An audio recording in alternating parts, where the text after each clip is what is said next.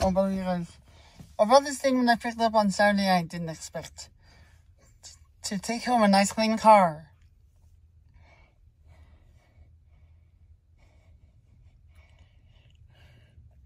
Now, obviously, like quite pleasant.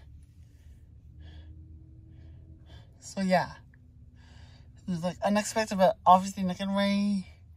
How awesome is though.